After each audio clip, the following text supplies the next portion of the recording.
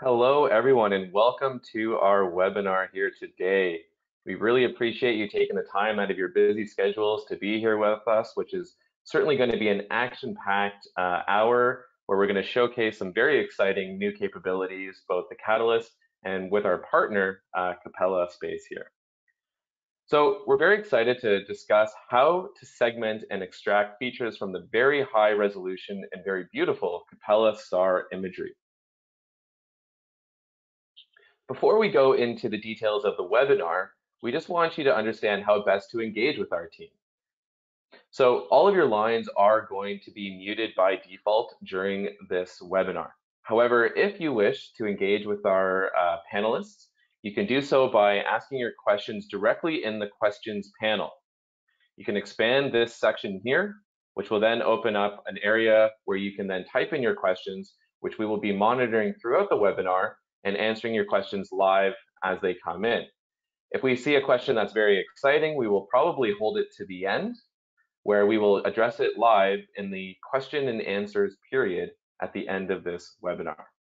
If we can't get to your question, and we probably won't get to all questions through this webinar, we'll be sure to post the, the answers to all questions asked with the recording.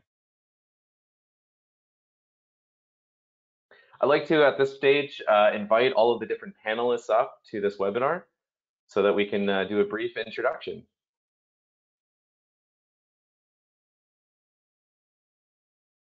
Wonderful. Welcome, Andrew.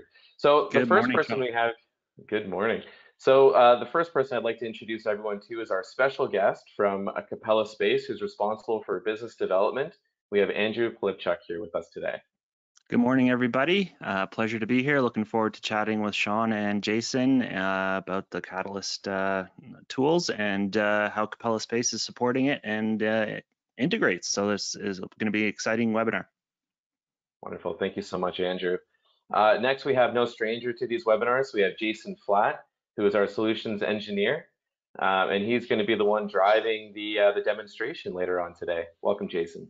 Welcome. It's good to see everyone here. Looking forward to showcasing the demonstration. Wonderful. Thank you, Jason. And myself, my name is Sean Malamed. I'm a product marketing manager here at Catalyst, and I will be your host for today's webinar.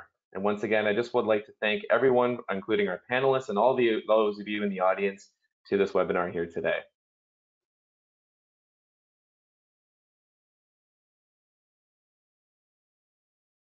So we have an action-packed agenda for you uh, for this uh, for the next uh, 45 minutes to an hour or so. So we're going to start off with a very brief introduction to Catalyst. We're then going to talk about some of the new capabilities that have come out. So specifically the new Capella Space SAR imagery that is now supported eh, throughout our tech stack.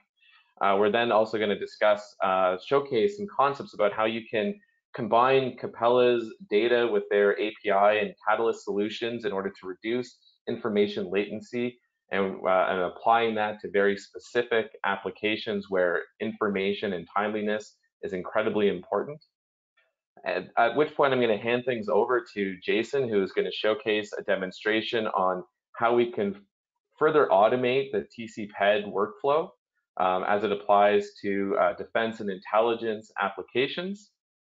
Uh, and then finally, hand things off to our special guest, Andrew, who's going to talk about some value and applications of Capella space imagery. And at the end, we're going to finish things off with a questions and answer period, where you'll have an opportunity to ask your questions to our uh, team of panelists here today. So first, I'd like to introduce Catalyst. Some of you may not uh, be aware, but PCI Geomatics introduced Catalyst as a new brand back in October of 2020 and the whole purpose is to bring information, geospatial information, into the hands of the mainstream uh, business decision makers and audience in order to help improve and make sure that we provide a more sustainable and manageable planet.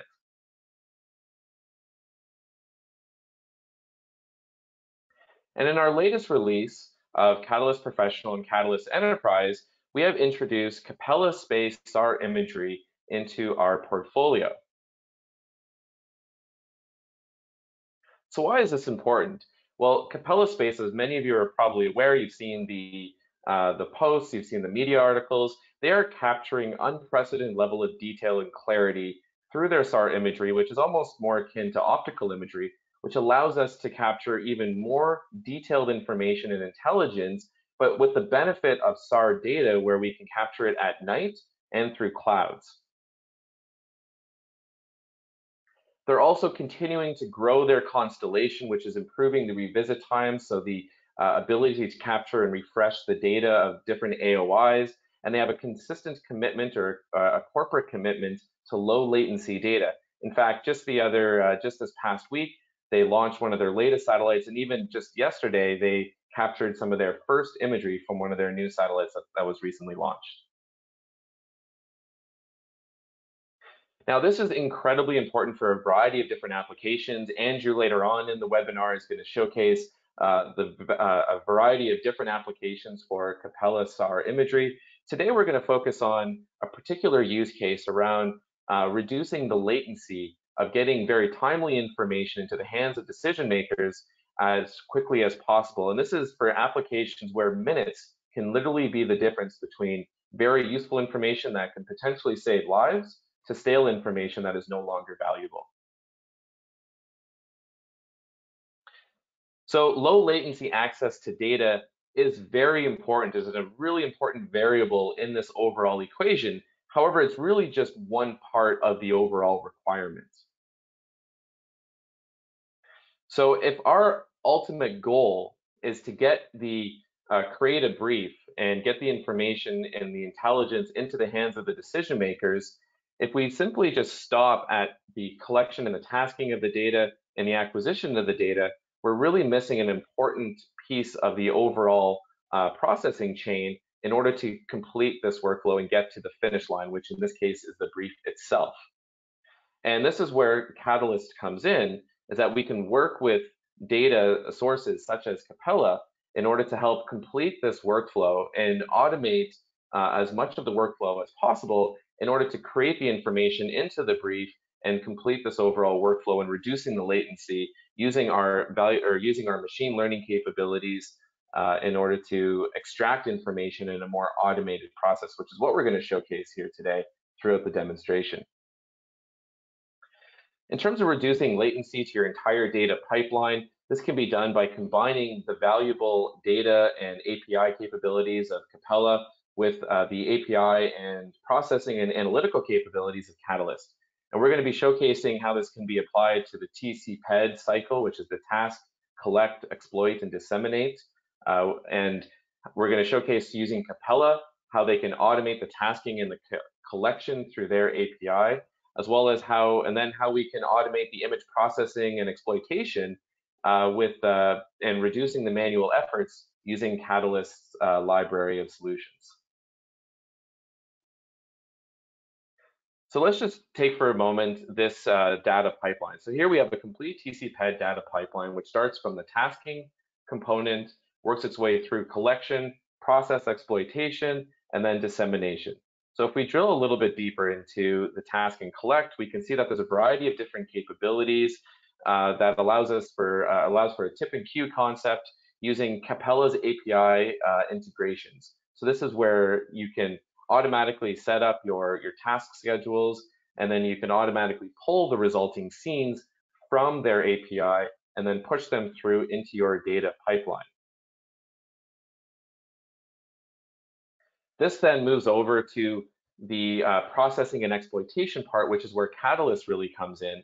And this is where we can take the Capella imagery that has been received and, and automatically um, delivered through their API this can then automatically connect into our pipeline where we can complete or perform more automation in order to extract useful uh, information and, and start to exploit the, uh, the data. This is where we can perform things like automatic uh, segmentation. And then if we've already collected, and this is a really neat concept that Jason's gonna show, is that when we already have training sites that have been collected from previous uh, uh, data sources or from pre previous Capella scenes uh, in this AOI, we can then use those as an input to then create a fully automated feature extraction workflow where we can then extract different types of entities over a area of interest. In this case, we're working over an airfield. At this point, then there's the dissemination part, which is then how do we get the information from uh, from the layers, from the feature or the extracted layers, and then get them into a report format that then can, can then be used for a briefing. And then we have a variety of tools and capabilities that can help automate this, as well as quality assurance tools. So while the exploitation and the automation process is very important to minimize and reduce the effort, uh, manual efforts, it may still be important within your workflow to have a manual intervention or a quality assurance step to just validate the information that's being uh, provided in the briefing. And we have a variety of different capabilities and tools to showcase that. So at this point, I'm going to hand things over to Jason, who is going to walk us through the demonstration where we're going to showcase this concept of TCPED and how we can help further automate this uh, throughout um, for your data to automate your data pipeline. Thanks. Take Thank, away, Jason. Thank you so much, Sean. So hello, everyone again. So I just want to briefly give an overview of the demonstration first before I dive into it. So I just want to quickly talk about how Catalyst provides image processing and analytics capabilities that can be applied uh, to satellite imagery to automate information extraction in support of the military information intelligence gathering process. Our software is sensor agnostic and reduces the need for manual analysis by automating uh, analytic processing. This can help with the tipping and cueing of other assets and thereby shortening that TCPED cycle. So I'm just going to get out of the, the PowerPoint and I want to look at a specific use case uh, first.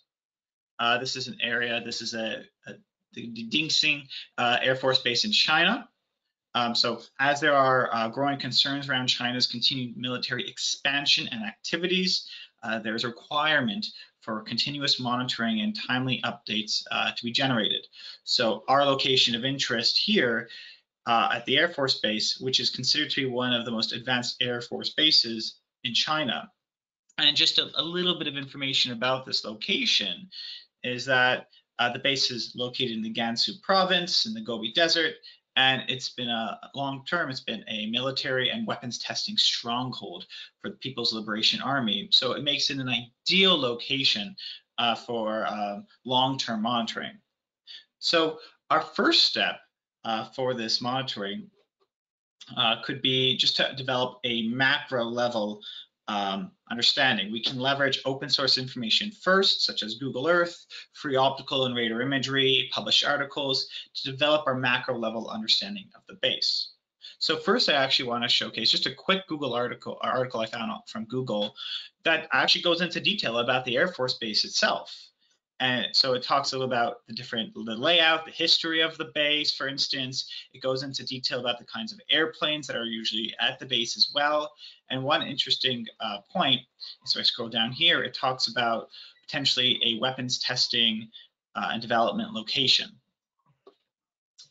So with that information, uh, along with the other open sourced information, we can then create a several supporting layers. So at first, what we have here is just more of a perimeter area covering 25 kilometers square of the entire Air Force Base. We can then identify the primary run, the runways. So we have the primary one for airplanes, drones. Uh, down at the bottom, we have the concrete one and the taxiways. And as mentioned before, I'll scroll, zoom in, we have that testing and development center that the article mentioned. And if we even zoom in from the Google Earth image, you can see all of those different planes, uh, different stages of repair or development. And of course, we have the, the apron itself, where all the military planes, such as those larger transports, those fighter jets, are all um, parked and located. So by but the idea of, of this macro level is if by familiarizing ourselves or gives us this familiar, familiarity of the area so that when we actually begin processing and analyzing the Capella imagery, it gives us just more context to build our into our workflow so that we can then make smarter decisions. So now I want to jump into well the micro level itself. Um, here we have just the um, our first image acquired over the base, and I can utilize our machine learning object-based classification technology to automatically extract and identify the different types of features, specifically along the apron. Uh, with our classification results, I'm just going to open them right now. uh, what we see, I've classified the red objects as buildings, the blue objects as the smaller fighter planes, uh, I can zoom in here, and those larger objects in green as the, the larger planes. And if we even open up the uh, Google, Earth image, this, this initial analysis can just give us some idea of the, the life of the base, some of the activity. Um, so where the larger planes are located is more on the left side of the apron, while those smaller fighter jets are on the right side. And from this, we can make analysis, uh, perform analysis, uh, see how far the distance between different buildings it would be to the fighter jets to make assumptions on maybe time of it would take for uh, pilots to get to their, their jets. But now the thing is, is we want to continually monitor the area as it's been, so it's beneficial for us to reduce the amount of processing time and manual hours invested into the image. So by reducing that the analyst time itself, it means that the decision makers can acquire the information sooner. So this can help our, our object-based approach offers the capability of automatic processing that will reduce the number of manual hours required. Uh, we can then leverage the training sites and the classification uh, results from the first image, uh, as Sean talked about before, and applied in a pipeline to process a stack of images, which enables us to, uh, to acquire constant monitoring and identification of the area. Um, so what this whole the whole idea is just to identify the pattern of life over the the area itself. So what I want to do is now open up and select an image stack. So I just have two images right now. One was collected on December 30th, 2020, and the uh, second one was on January 27th, 2021. So very recent. And just looking at the two images themselves, you can see as I cycle through, I'm going to turn one on, one on, one off, and visually we can see that there's change. Some of the planes are moving. So either they're flying or there's, and so they're leaving and they're coming back to the same location new planes could be uh, coming in. In fact, if I scroll all the way to the right, you can see a new plane has landed here too. Now, utilizing a temporal stack, that can actually tell us, well, is that plane just there for a moment? Is that in the process of moving? Or is that a plane's new permanent spot? So utilizing the stack, I'm just going to showcase some of the results. Utilizing the same representation, uh, I'm going to first turn on the December 30th. And immediately we can see uh, the green, larger airplanes, and while the blue, those smaller planes. And as I turn that one off, and the, the January one, again, we can see that the, the results are a bit different because and based on the uh, December one, but now looking at the January, we can see the classification results. And of course, all the way to the right has identified that little fighter jet. So now that I would like to just spend a, a, few minutes just to show how I was able to classify these images. So we can utilize the automatic classification with either our Python API, all the tools we have available have an underlying Python API, so that can be easily integrated into your own current workflows. But for this instance, we also have a GUI interface in Focus itself, which we can use uh, for this presentation. And the idea is that compared to like status quo, where a user would manually have to draw the objects, we want to get these results faster. So this is a way to reduce that latency that Sean mentioned before, so it gets the results faster. So what I want to first do is I'm going to go to our North Apron layer area. I have designated that little AOI of the apron that we created before from the macro level. Um, I'm going to open up our object analyst in here. This is where we can perform our object-based classification. Uh, we can perform the segmentation, the attribute calculation, training site collection, and the actual classification itself. One thing I want to note about the segmentation, for instance, is we, we offer ways to reduce the amount of pre-processing. So for segmentation, we automatically can perform tail trimming, which just removes outliers uh, from the image, and also um, filtering as well. So that enables users, for instance, to not have to actually perform those actions before analysis. So that just first enables them to save time, but also reduce the amount of storage space not needed because it's done on the fly itself. So I just want to showcase the results of this this first training image first. Uh, so I'm going to turn off the, the AOI. So I've performed my segmentation. I've created those different unique objects. I've then performed a training site collection. For this, I've just done two classes. What is the is the apron, which is green, but reflectors, so things that are very bright, are red. And I then performed that classification, which utilized the attributes collected from the image. So we collected statistical, geometrical, texture measurements, uh, along with the training sites to then perform that classification. And this generates a training model, which can then be used for the batch. And it's very simple. I'm going to open up Object Analyst again. I'm going to select our batch classification operation here. I am pointing to a location of an output location. I have an out or uh, sorry, an input location of all the images I want to work with. I can provide an output location. So I can go down here, I can select a new one, output two, for instance. I have the training model. I will then add it in, and all the operations you run with in the uh, in the in Object Analyst are documented in the canvas, and so you can then select which operation you uh, you could potentially run multiple segmentations and select the segmentation that generated the best results and just add it to the batch along with the attribute calculation and the classifier and then quickly I can right click and select run and it's just right now it's segmenting that image performing uh, based on that AOI and performing those uh, pre-processing uh, requirements. So it's just going to take less than 15 seconds. Wow, it's done. And this is just the result I want to show. So here we have the uh, the image the image that I processed. We have the segmentation along with the classification results. So the blue is the apron while the red is the reflectors. And then we can dissolve that. And from here, we can utilize the heuristics of the, uh, the attributes of the segments to then identify the type of reflector. So buildings or larger planes or um, uh, smaller fighter jets. And what we can also do is create, a, for instance, a counting measurement. So we can create um, reports to just document for each image how many small planes were identified, how many larger planes were identified, just as one very basic example.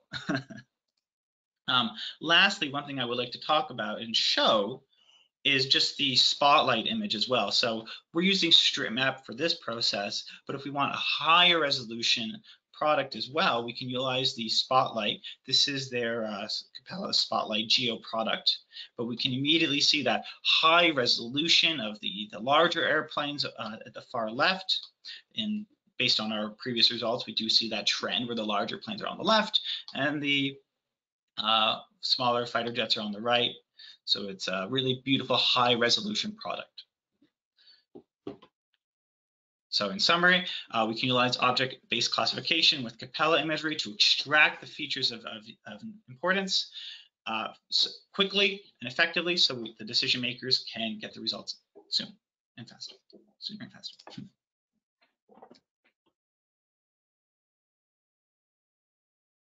Wonderful. Thank you so much, Jason. Um, so actually, we'll just leave it on this uh, slide for a second, and I'm just going to uh, recap some of the things that you just saw Jason work through. So he showcased a concept of how you can automate your uh, task, collect, process, exploit, disseminate cycle, really focusing on the process and exploit uh, components.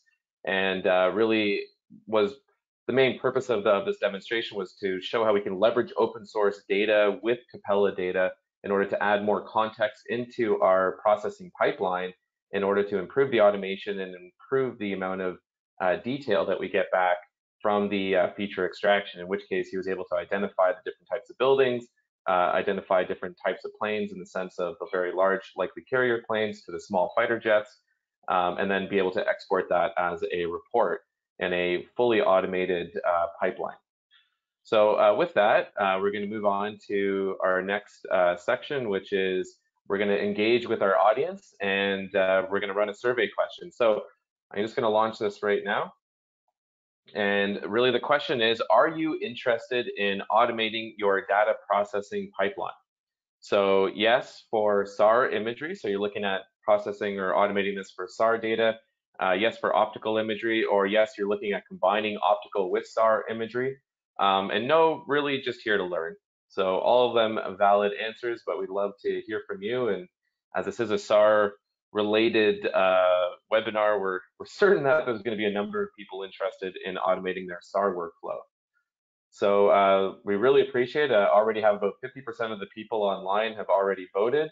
So we're going to keep the uh, keep the poll open for another 10 seconds. So if you haven't voted, please get your vote in now. We'd love to uh, understand what you're looking at uh, uh, automating. And with that, I'm going to close the poll in about three, two, one. All right, let's take a look at the results. So we can see that uh, we have an overwhelming amount, 49% uh, has decided or has stated that they're really looking at optimizing a data processing or automating a data processing pipeline for optical and SAR imagery, which is a common um, a common uh, sentiment that we're seeing these days. We have uh, then 16% said really just for SAR only. Makes a lot of sense that there's not as many people looking for optical as this is a SAR focused uh, webinar. And then we do have a number of you here who are just here to learn, which is great. So with that, uh, we'll move on and uh, close this and we're going to move things forward and uh, introduce our special guest who is going to showcase uh, some of the many advantages and applications of Capella Space SAR imagery. So with that, I'm going to hand things over to you, Andrew.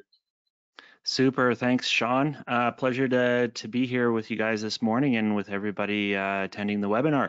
So Andrew Plipchuk, uh, I've been in Earth observation for uh, a little over 20 years now. Um, started out in SAR, funny enough, and, and come back around to work at Capella Space and work with uh, another SAR vendor uh, once again. So nice to come full circle.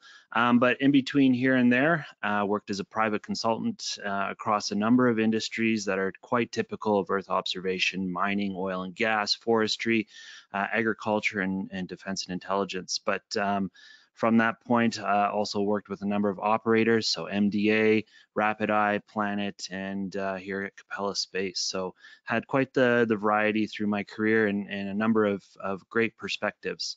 So um, just talking about Capella Space and, and, working with Catalyst, you know, the feature extraction, Jason did a great job talking about uh, segmenting the imagery and classifying uh, different bits and pieces and pulling out the features that, that folks are most interested in.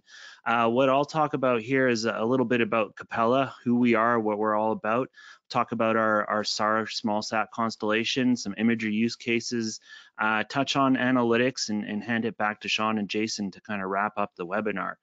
So in terms of a company overview, I mean, we're here to talk about SAR and and I think Sean mentioned it quite well early on. You know, what is SAR all about? What are some of the advantages of SAR? Of course, with optical data uh, using the sun's uh, illumination uh, of the Earth to image, um, quite often, you know, the nighttime side of the Earth is is not able to to be collected. We got cloud cover, smoke, haze, all sorts of atmospheric issues that are blocking the ability to collect an image. With SAR, as most of you all know, it's an active sensor. We are sending out a radar signal and then we are imaging uh, the, the signal we receive back that we've sent. So 100% uh, observable time. Uh, we image through cloud and smoke. We image at night and day. Um, and uh, the Capella company, uh, as we get into the next slide, we're really focused on that high latency or low latency, high reactivity uh, market space um, and, and really re changing the way folks are accessing Earth observation data. So that frequent revisit, all weather, anytime capabilities, high resolution data, uh, and fast order to delivery uh, from a customer perspective. Um, from a company history point of view, we were founded in 2016. Uh, we prototyped uh, a new type of uh, SAR sensor and, and satellite design. Uh, from there, we, we received uh, a couple contracts to get us off the ground and actually build it and get it to space. Um, and then here in 2020, uh, we launched our, our our first uh, commercial operating satellite uh, in 2021 here. We're at four satellites now, so uh, coming a long way. We got three more satellites to go in, in our first uh, batch of, uh, of the constellation. Um, where are we located now? We've grown quite a bit over the last uh, last little while, but we have a headquarters in San Francisco. Uh, we have another uh, large office in Boulder, and then we have presence uh, across the globe as we work with partners and customers. Um, and speaking of that, I mean, our, our customer base is is quite uh, broad now. Uh, we have uh, government customers not only in the U.S. but across the world. Uh, commercial industry is picking up our imagery quite strongly uh, across a number of sectors, which we'll touch on in, in a follow-on slide and we're at over 70 partners, and that includes resellers as well as analytics providers around the uh, around the globe. And finally, to help build support uh, for our data in the SAR market in general, um, we have open data collaborations with NGOs, academia, and, uh, and we have our own open data community. So uh, if, if you folks are, are interested in looking at our data but not quite ready to commit um, or have an application in mind, um, definitely reach out to us to get into our open community. We have uh, a number of images available uh, under the Creative Commons license. Moving on to our technology. So, you know, when we were first founded in 2016, I mean, one of the big questions is how can we do this better? How can we do this different than the traditional method? Um, as we all know from a number of, of, perspectives, not just SAR, but optical as well, um, miniaturization is is a big thing now that's enabling a, another space race. And so we as well thought, hey, we can do a, a SAR satellite 10 times smaller, uh, reduce the cost, increase the number of, of satellites in orbit, and, and really um, turn turn this around and, and really serve the market in a new way. Uh, along with that, of course, is, is a software platform, which we'll get to. But um, our SAR technology, our SAR satellites, is really based around X-band. Um, our first generation of satellites are, are, doing horizontal send and receive, so single pol data. Um, and our imaging bandwidth is up to 500 megahertz. So that's kind of driving the resolution of our data and, and how, how we're able to show that. Um, we're imaging in ascending and descending orbits, and we can go right and left looking.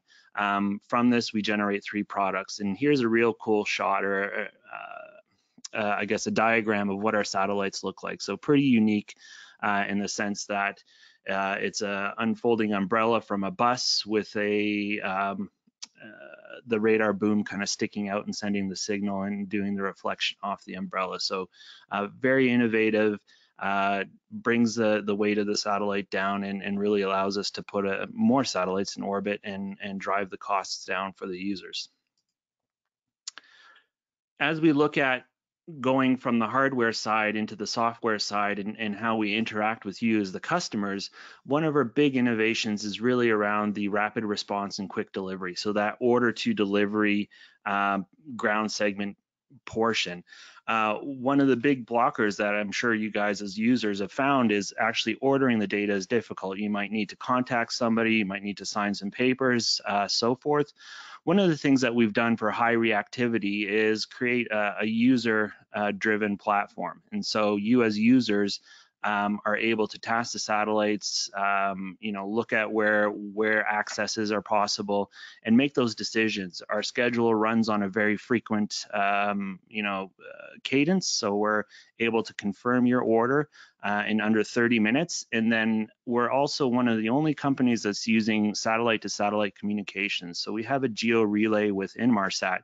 As soon as your order is confirmed, even if satellites are not over a ground station, um, the ground stations are talking with Inmarsat, Inmarsat is talking with our satellites. Those tasking requests are uploaded to our satellites uh, in under an hour. So really high uh, reactivity, um, getting your requests onto the onboard onto the satellites as soon as possible. Of course, there's a transit time and an imaging time, and depending on on your priority and, and what kind of urgency you've ordered the data with. Um, we'll collect the data based on, on those parameters.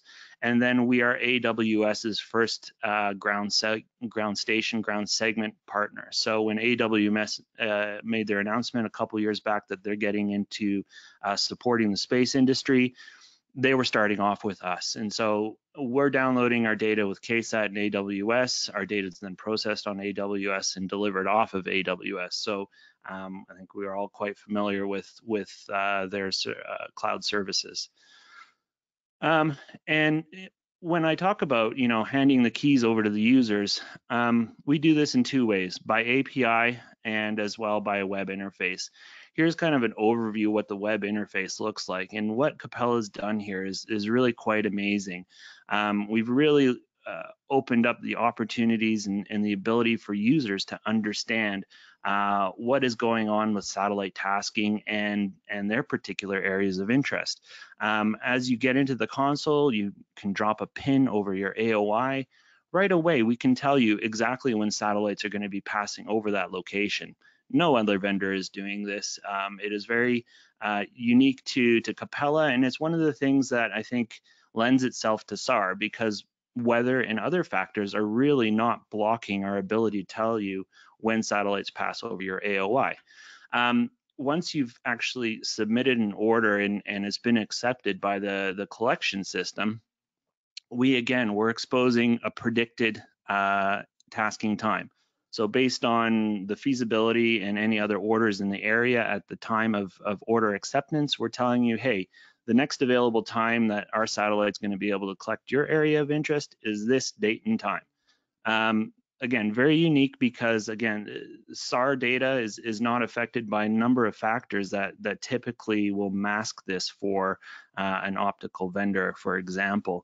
Um, once the image is tasked, that's all updated. All these uh, user type uh, order flow pieces um, are, are, exposed to you as the customer. So you know when the image is tasked, when it's collected, uh, when it's in processing, delivery, uh, if there's any anomalies, these kinds of things, all of this information is available to you and, and it actually happens in quite a rapid fashion. You might miss it unless of course you have some notifications programmed through the API. So our web interface is based on the same API that you get as a customer, um, but all these features are, are, available to you through the API. And, and as, as Jason mentioned, um, you know, we plug directly into uh, softwares like Catalyst to enable a, a, much faster automated workflow. So from our API, again, you can task the satellites, you can understand when is a satellite going to pass over an AOI before you task it, you can make some decisions on what priority of imagery you want. Um, and and does it fit your your particular requirements uh, to to get an image collection? Um, once all that is done, um, what are we actually delivering at the end of the day? And that, of course, is imagery, um, which goes into into to the folks at Catalyst. Um, we offer three product modes or three image modes on our satellites. Capella is focused on very high resolution data, and so our, our modes are very tight in, in the sense that our strip map mode is a 1.2 meter product. Our site mode is a one meter product and our spotlight mode is a 50 centimeter product. So not a whole lot of, uh, of resolution variation between the three image modes. Um, but as we get a little bit deeper into how the products are generated, there's a bit more difference in, in noise floor and um, detail in the sense that our strip map mode is a single look uh, image and our site mode is uh, as an option in the Geo or GEC product, uh, a multi-look image where we've actually stared at the target, collected a couple of images, and then done some pre-processing to merge the collections and, and reduce the NESZ values to, to create a much cleaner uh, data set for you. And finally, of course, the Spotlight mode in its Geo or GEC product format, uh, again, has that multi-look technology uh, where we've actually taken nine images or about a 30 second clip of, of staring at a target to create this, this format. Um, all of this is, uh, you know, leads to, as Sean mentioned, uh, imagery that is very optical-like in nature. So, you know, as, as folks are looking at SAR data, typically you know it's quite intimidating. It, it doesn't look the same as optical. Uh, one of the things that we've heard uh, resoundingly from the market is wow capella's imagery it looks like a black and white optical image. I can understand this. I can really use this quite easily. Uh, i think added to that you know folks at catalyst and, and their analytics really makes it uh, also uh, that much easier to use in, in today's marketplace than than it was say when i started in SAR 20 years ago last but not least, um, in addition to our standard products and our standard image modes, uh, we offer uh, through both the API and the console the ability to do a lot of customization. So when when you are tasking, if you have very specific uh, parameters in terms of either look direction or uh, ascending, descending, or a particular um, you know off nadir or or look angle that you're looking for when you're imaging an area, um, as, as SAR experts um, might understand some of these these factors. Um, all of these are, of course, uh, available to to you folks to again enter the the parameters on your own, um, make those decisions. Uh, this will, of course, impact the number of revisits or the the number of access times, but again. Um, as you enter this information, the the access times are all updated uh, through the the two interfaces, and you're able to understand, hey, if I restrict my look angles or or my my orbit direction, um, this is how it's going to impact my my revisit time, and is that a trade-off that works for my particular business and use case? Um, as we kind of get through to the end of, of talking about products, um, we're offering this in a, in a couple different formats. Uh, of course, most folks that, that work with SAR data are familiar with SLC data. Um, this is uh, this contains phase information as well as uh, a number of other bits and pieces that, that allow people to do processing. Uh, this is what Jason and, and the Catalyst team were using when they were doing their uh, analysis and, and segmentation. Um, and then we also offer a geo product. So this is the, the product that has been rectified, corrected, and uses the multi-look technology. Uh, we'll shortly be releasing a, an intermediary product called GEC, where we're not doing the terrain correction, but we're doing a, an ellipsoid correction, and that allows us to uh, provide a product that has some of the SLC properties in, the, in terms of maintaining uh, the image structure as it was taken by the satellite, um, but we're able to um, map correct it and put it in, in roughly the right um, geographic space uh, without doing that terrain correction. Uh, this also allows us to, to offer that product with the multi-look technology and, and the better NESZ values uh, that, that folks might be looking for as they're doing different types of, of classifications and, and image processing. Um, so in terms of imagery use cases, um, I think most folks are familiar. Imagery is used in a number of imageries across the board. Uh, SAR is also equally applicable uh, as optical. Um, definitely, you know, I think uh, when you think about SAR being able to guarantee an image in any condition, um, it lends itself to particular applications. But at the end of the day, uh, so long as the the data that's collected um, answers the questions, um, that's really what's most important.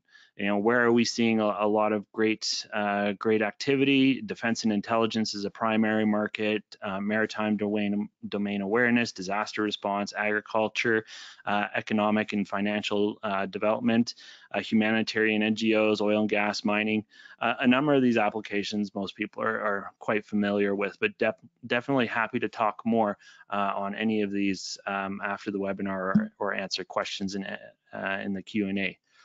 Um, as we look at a couple examples, um, you know, in that context of intelligence brief, uh, here's here's a, an image of Bandar Abbas. This is one of my personal favorites. Um, it really highlights some of uh, SAR's unique capabilities and, and Capella's unique capabilities with the spotlight data. So here on the on the left, we have a clip out of the airbase. Uh, what I personally find most interesting here is you're actually able to see um, difficult. I don't know if the cursor shows up uh, in the webinar, but um, we're actually able to see the chain link fence uh, that that wraps around the airbase. You know, uh, we all know a chain link fence is much smaller than 50 centimeters, uh, but it stands out in the SAR imagery quite well, and, and it really shows up. Um, as we look uh, towards the naval port, uh, we're able to identify the different types and classes of warships. Uh, what's really neat about uh, this particular image in the bottom right corner uh, of that clip out, we actually see one of Iran's midget subs. So this is a submarine that is about one, one and a half meters wide by 20 meters long. Um, very difficult to capture that size of object uh, on the surface. Um, it comes out in, in Capella's imagery quite well, and um, this is, you know, this is the kind of uh, imagery object detection that that folks are are seeking and and and looking for when they see this kind of data.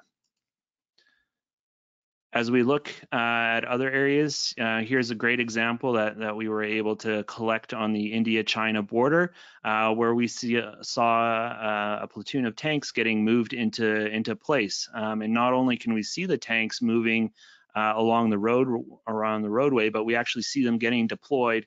We see the turrets, we see how they're all kind of uh, grouped and and and how they're getting set up by by the team there. So again, very interesting uh, you know scenario here where the 50 centimeter data is is able to show great amount of detail um, to the point of, of of showing you know how the tanks are laid out, which direction the, the turrets are pointing and, and so forth. So um, very exciting imagery from from our point of view. Um, definitely, uh, you know, feel for the the folks that are in that region and, and involved in, in any particular conflicts. Um, looking more at the humanitarian use case, again, uh, you know, SAR being able to image through smoke and, and cloud and haze, uh, we collected uh, some uh, some of the eruption of St. Vincent. Um, great great imagery here of the volcano, absolutely beautiful and stunning, but able to see uh, well into into the volcano through all of that uh, smoke and ash. And then kind of close to home here, uh, Fort Simpson and, and what we typically have every spring in, in Canada, uh, river ice dams. So um, ice blockages on rivers and, and as the spring melt comes along, uh, those those ice blockages literally form a dam on the river and and flood communities um, all around Canada annually, unfortunately. Uh, so we were able to to collect this one up in Northwest Territories. Um, I was personally involved in, in kicking this off, so it was exciting for me to see that from the time we put in the tasking on, I think it was Wednesday afternoon, uh, the following morning, uh, we had this beautiful uh, site image, one meter image of, of, Fort Simpson. So under 12 hours from order to collection and, and data delivery. Um, very, very uh, great responsiveness there. Um, and that's really, I mean, I think that that kind of covers off some of the basic use cases. Definitely happy to speak more on on any particular vertical, oil and gas, mining, uh, agriculture, forestry, whatever the case may be. Um, definitely, there's there's places where the imagery fits really well, and and so does that responsiveness. Um, finally, just wanted to touch on analytics, and and I know um, Sean and, and Jason will touch on this as well as as we wrap up the webinar. But Capella's footprint size, our our very high resolution data is is small, and so one of the things that we've realized to to help customers understand uh, what is happening in in their regions. Uh, we've leveraged uh, Sentinel-1 data on a change platform within Capella uh, we're doing some change analysis on the Sentinel-1 data as well as Capella data to offer a tip and cue scenario where people might want to monitor you know a much larger area the state of california province of ontario or monitor say the border between uh, like china and india in, in, that example and understand where where are changes occurring and where should i cue up capella's uh, vhr data to go investigate uh, those changes and really understand uh, what's going on and, and create that that analysis and workflow that that jason highlighted um, so this is something that that's currently in, in a beta stage and, and, that we're building out here towards the end of the year to help folks uh, leverage our data to the best of its ability. And with that, I'm going to turn it back over to the Catalyst team. Wonderful. Thank you so much, Andrew, for that, uh, that wonderful presentation. There's a lot of questions that came in that uh, we're going to uh, get to uh, for Andrew at the end of the uh, at the end of the presentation, at the end of the webinar during our, our allocated uh, question and answer period. At this point, we're going to open up one more survey question. So this is the final survey question here and just get everybody engaged again. So we're interested to understand what are you using or planning to use SAR imagery for? So we'll launch the uh, launch the survey and the different possible options are defense and intelligence, maritime domain awareness, disaster response, agriculture, or other, and if it is other, please specify in the questions panel uh, what application you're looking at using it for. In this case, only select one, so select the one that most applies. All right, we're getting a number of different uh, results already coming in. We have a majority, just a small majority are looking at disaster and response with then a large group also defense and intelligence. Uh, it's actually pretty split evenly across the board. Uh, around agriculture and then others. So we're looking forward to hearing what uh, some of the other applications you're interested in as well. All right, with that, we've got already over, uh, well over half of the people have already voted. So if you haven't voted, please get your votes in now. We're going to close the poll in approximately five seconds. All right, so you can get your final votes in now. Three, two, one. All right. So let's take a look at the results here. So we can see that uh, majority of people right now, just a small majority, is uh, disaster response, so at 27%, followed by agriculture, and then defense and intelligence. And then there's a number of people that are looking at other applications and just looking at some of the examples that have come in, we have uh, measuring tree heights, minerals and mining, infrastructure monitoring, um, overall mapping, teaching. So thank you so much for, for your response and your engagement here. Okay, so just to conclude the um, the webinar here, we're just going to talk about how we uh, how you can leverage Catalyst SAR capabilities with Capella data. So we have, as Jason already showcased, we have enhanced viewing and on-the-fly orthorectification for SLC data, which uses uh, state vectors to automatically orthorectify and, and position this imagery uh, right on the fly, which makes it very easy to work with. It also makes it very easy to work with other, uh, other data sources such as optical and vector data. We have also advanced pre-processing capabilities, which is made possible and made very simple because we're automatically uh, extracting valuable or useful metadata information and then converting it into information that can then be leveraged and exploited uh, for various processing and analytical applications. As we showcased here today, Jason showcased an example of using our SAR-specific support for object-based image analysis, where you can utilize an automated workflow or build an automated workflow that leverages uh, training sites and training data in order to automatically learn and extract features uh, based on uh, future imagery that's provided into the pipeline. And then, of course, we have other capabilities such as coherent change detection amongst a variety of other algorithms within our product suite.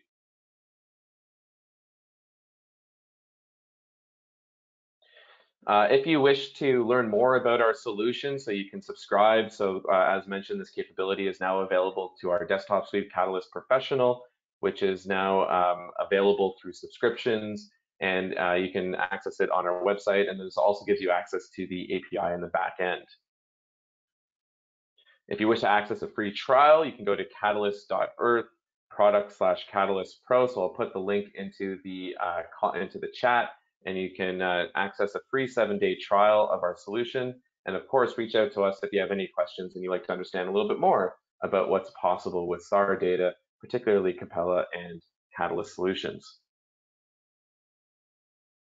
So with that, we're going to hand things over. So I'm going to invite once again our panelists back onto the stage so that we can uh, spend a few moments to answer some of the many questions that we had come in. So unfortunately, we're not going to be able to get to all of the questions here, but we have a variety of questions and uh, we're going to get to uh, as many as we can. So once again, if I can invite the panelists back on stage and uh, we can get through some of these questions here. So the first one I'm going to actually hand off to uh, you, Andrew. So there was a number of questions that came in from our uh, from our different uh, viewers around uh, just understanding a little bit more about what's possible and how to access the Capella data. So just going to find a good one here.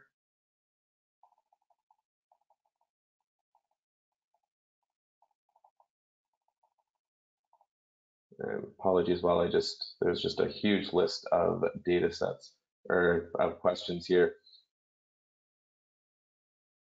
So Andrew, this is a good uh, a good question. I think it'll help provide some clarity. Um, so Capella has been posting some incredibly beautiful imagery on social media and uh, with very high detail, very high resolution. So one of the question is, is what is the format of that imagery um, we were showcasing strip map SLC data today, mainly over the uh, the airfield. Um, so, what is the, uh, the, the specific product that uh, is most commonly showcased on on your different uh, social media outlets and, and, in the news? And uh, and how is it uh, possible that you're able to collect such such um, detailed and and clear imagery? Great question. Um, so I guess to start off, the the data format is offered in in those two, uh, soon to be three products, where it's either SLC, uh, GEC, or GEO. Um, I'm personally not familiar with the SLC, how the, the data format of, of SLC is. Maybe Sean or, or Jason can comment on that. But uh, the GEC and the Geo products are, of course, uh, uh, one step more processed. They're offered as a GeoTIFF, um, and so very widely compatible across uh, any number of, of either remote sensing software packages or uh, GIS software packages. Pretty much everything takes in a GeoTIFF. Uh, what you guys typically see on social media is our Geo product. So it is the more refined and rectified product. It's using the multi-look technology uh, to really reduce that that backscatter speckle that that you typically see with with SAR data. Um, that's normally what we're posting. In most cases, we're posting a spotlight image, so our top resolution of 50 centimeters. Uh, in some cases, we're, we're doing site mode or strip map mode as well, um, as, as that's just some sometimes the way we've, we've acquired the data for that particular application. Um, hopefully that answers the question. No, wonderful. Um, another question came in for you, Andrew, since we got you here, might as well take advantage of it. Um, so what is the current revisit time for uh, any, for I guess, uh, guaranteed revisit time for different imagery on on uh, uh, with on Earth, and and what are what are the goals or the aspirations for the Capella constellation uh, to get that down to?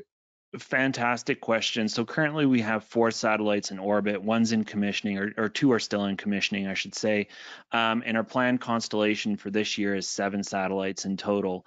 Um, once we have the seven satellites, uh, our our typical revisit with standard look angles, so top image quality, standard look angles, um, you're looking at 10 to 12 hours anywhere around the globe.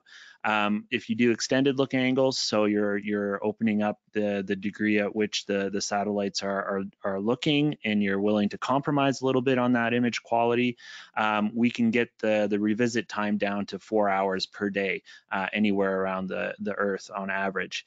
Um, what I would say in in the current state with two commercial satellites operating, two in commissioning, uh, those times vary uh, based on location.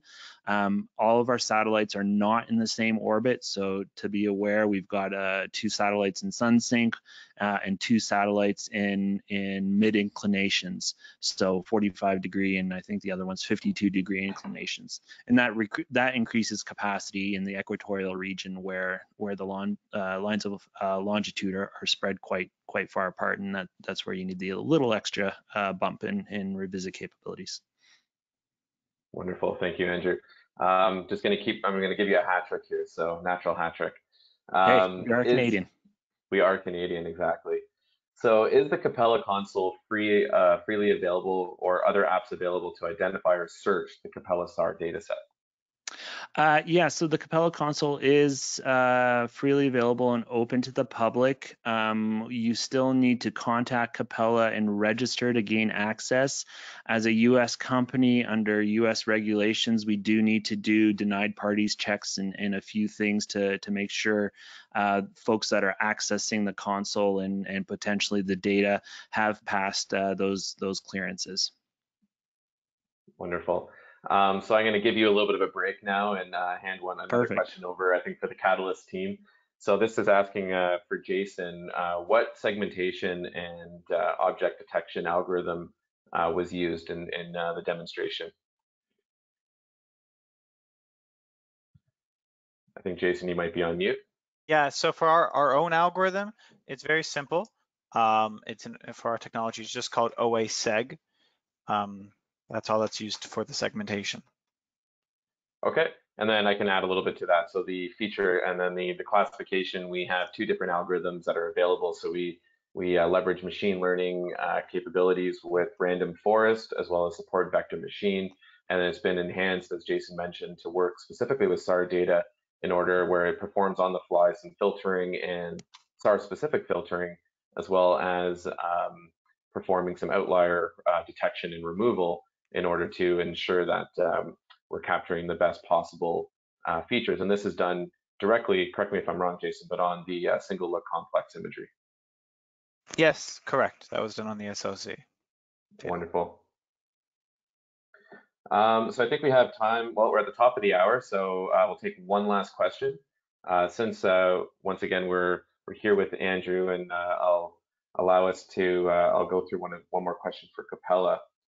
So, what is the minimum resolution spotlight images offered by Capella? And I think you might have covered this already. So maybe just go through the different uh, um, resolution options and and um, I guess the footprints as well. A great question. Yeah, so the spotlight image is uh, delivered at 50 centimeters to the customer. Uh, it's a five kilometer by five kilometer footprint. Uh, of course, the the ground range resolution and azimuth resolution varies depending on look angle. Um, we can we can definitely reach out to, to Capella to learn more about that. Um, but the site mode uh, is a one meter product. Uh, it's a five by 10 kilometer standard footprint, and the Stripmap mode is a 1.2 meter product, and it is a five by 20 kilometer uh, standard footprint. Wonderful. So with that, unfortunately, we received well over uh, 50 questions uh, today through as I'm looking through the questions panel, and uh, we really appreciate everyone's interest and your attention uh, to this webinar. We will go through each one of these questions and answer them and post the question or post the answers to the questions with the recording of this webinar on our website, and we'll send you an email once that is made available. So I just like to take this opportunity to thank uh, Andrew, thank Jason, um, so our panelists here, and then and also to thank everyone in the audience for taking this time out of your day to be to join us here. So once again, Andrew, thank you so much. Thanks, Jason. Thanks, Sean, and, and thanks everyone for attending. All right. Have a great we day, hope, a, we hope you have a wonderful rest of your day. Take care.